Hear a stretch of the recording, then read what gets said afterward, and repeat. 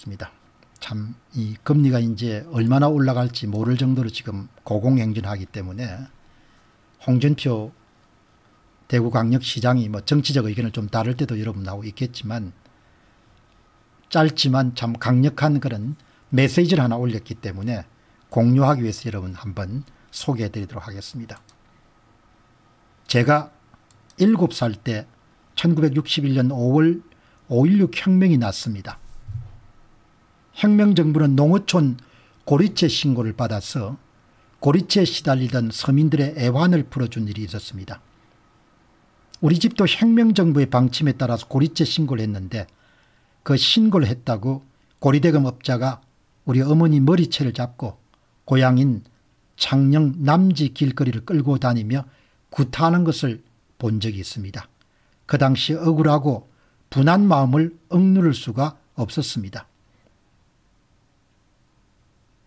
그 뒤로부터 나는 빛이 부채가 얼마나 무서운 것인 줄 알게 되었고 우리 가족은 부모님 생전에 내내 빚에 얻을리는 비참한 생활을 했습니다. 성인이 되면서 가난하더라도 빚을 멀리했고 경남지사로 재직할 때는 채무 상환에 주력해서 3년 6개월 만에 채무 제로를 달성하기도 했습니다. 지금 대구시도 부채에 허덕이고 있습니다. 오늘 내 임기 중에 다음 세대 빚을 떠넘기지 않기 위해서 채무 상환을 강도 높게 추진하는 채무 상환 계획을 발표했습니다. 부채가 얼마나 무서운 것인지 알아야 다음 세대에게 빚을 떠넘기지 않게 됩니다. 그래서 저는 선심성 포퓰리즘 정치인들을 배격합니다. 지방자치단체뿐만 아니라 나라도 마찬가지입니다. 홍준표 대구광역시 시장의 개인사에서 이런 아픈 기억이 있었다는 것은 저는 오늘 처음 알게 됐습니다. 저는 뭐 대한민국의 선대들은 참 자본이 빈약했지 않습니까?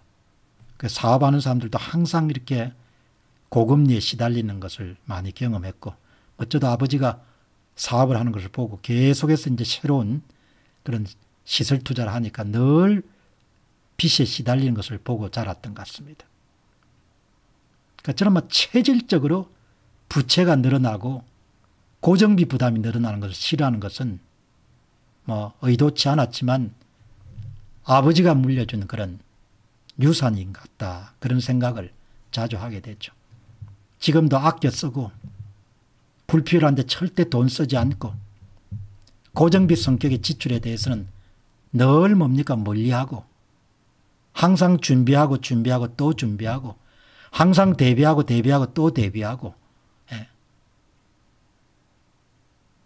돌다리 두들겨 보고 예. 그게 사업하던 아버지가 항상 자본 부족에 시달리고 고리채를 끓여가지고 계속 사업을 확장하고 그렇게 해서 부도가 나고 이런 것을 제가 직접 봤기 때문에 이 빚에 대해서는 뭐 각별한 생각을 갖고 있고 그래서 아마 여러분 가운데서는 공병호 TV를 보시는 분들은 지나치게 이렇게 빚 문제를 많이 강조한다 이렇게 생각하시는 분들로 많으실 겁니다.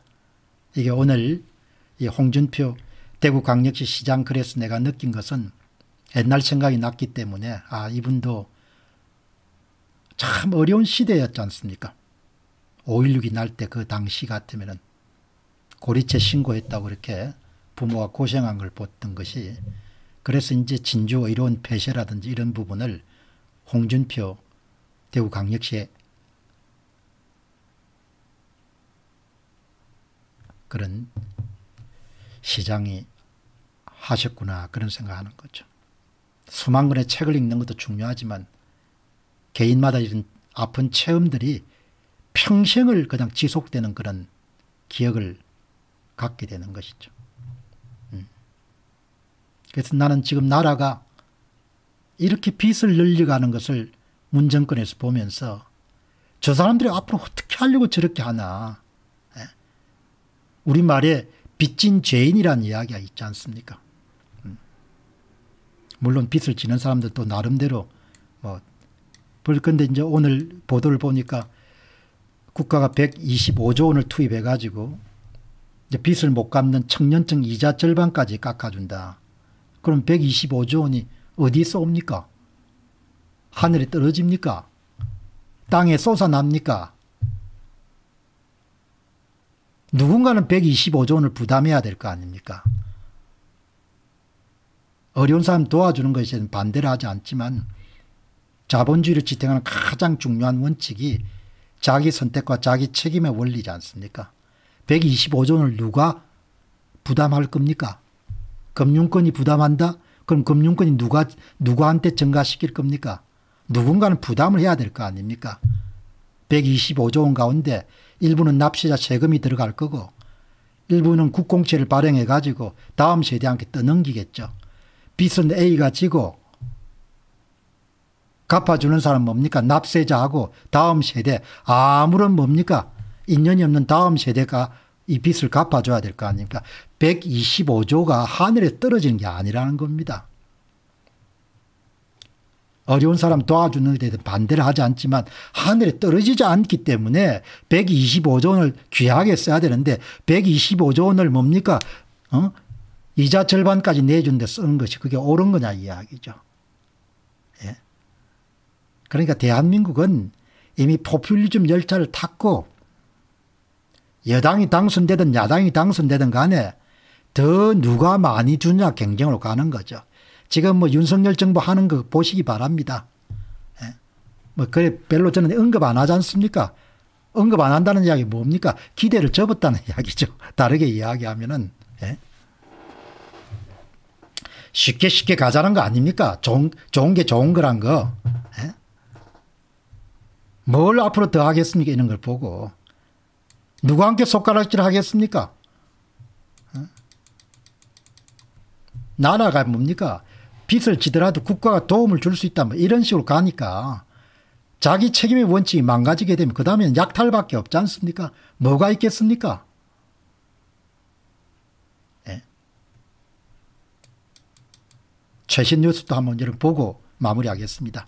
지금 가계 기업 빚이 4,500조 정도 저는 한 4천조 정도로 생각했는데 500조 맞네요. 4,500조 정도 됩니다. 정부 부채가 한 2천조니까 총 한 6,500조 정도 되는 거죠. 정부 부채는 잠을 자는 사이에도 계속 지금 늘어납니다. 연금 충당 부채가 뭡니까? 째깍째깍째깍째깍 하는 사이에 뭡니까? 하루에 수조씩 늘어날 겁니다. 연금 충당 부채가. 3월 24일 기사입니다. 민간 부채는 2020년 말보다 409조가 늘어난 겁니다. 어마어마하죠. 2020년 말이니까 코로나19에 1년 정도 지난 시점부터 시작해 가지고 2022년 3월까지 409조가 민간 부채가 늘어난 겁니다. 어마어마하네요. 가계 부채가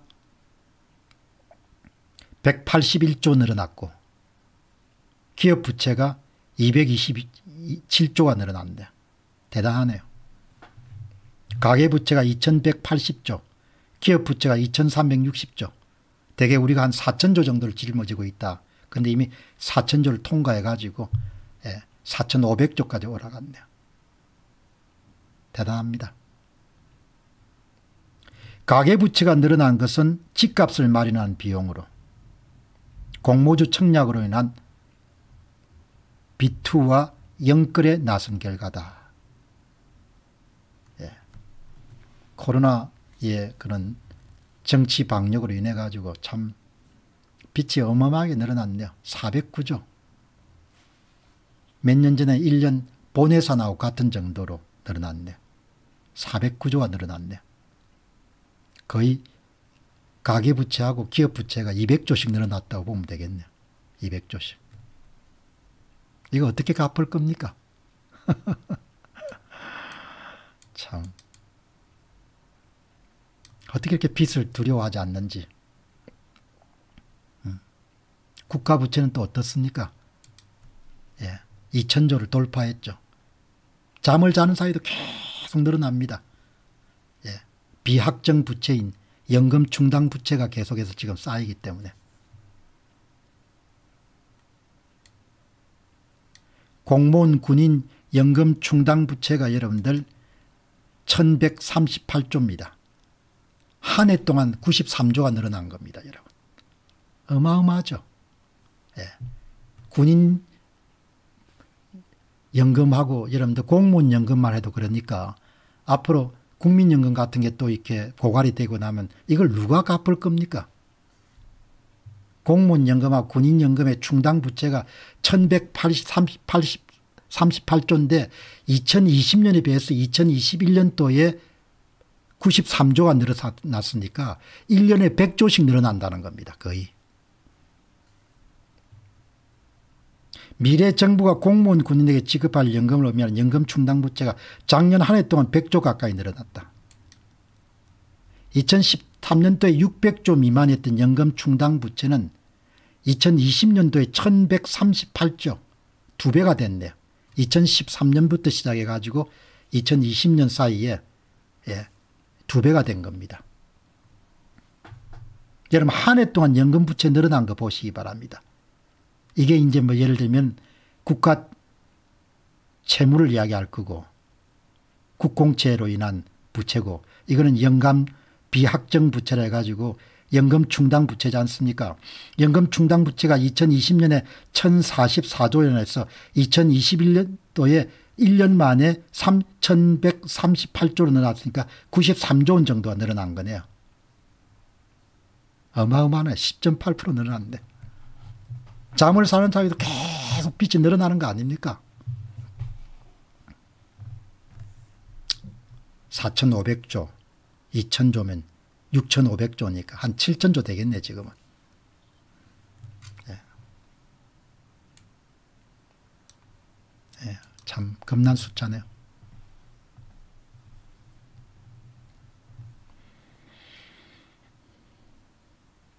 근데 소득을 만드는 능력은 계속 떨어지지 않습니까 한국 1인당 잠재 성장률 추이가 계속 떨어지죠. 이게 뭐 기본적으로 보면 일종의 지표라고 볼 수 있겠죠. 소득을 만들어낸 지표.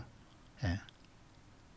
이걸 뭐 단순하게 해석하게 되면 소득 증가율이 3.8%에서 2.8%의 평균 1.9%에 0.8% 떨어진다는 거 아닙니까? 그죠? 예. 그렇게 해석하는 게 낫겠죠.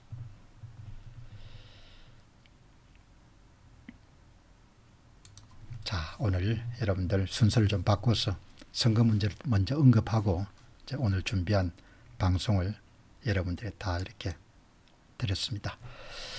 자 여러분 오늘 음, 방송 잘 들으셨습니까? 음. 내일도 추가적으로 이제 안산시장 선거 추가적인 분석이 들어오게 되면 또 정리해 가지고 이런 말씀 드리도록 하겠습니다. 고맙습니다.